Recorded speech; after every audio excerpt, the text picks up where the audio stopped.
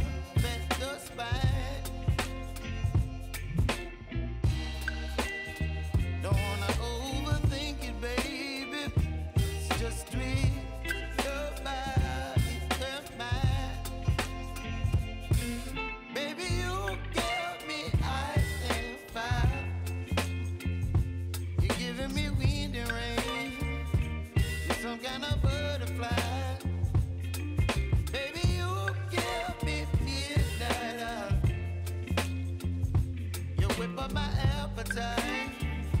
Don't leave me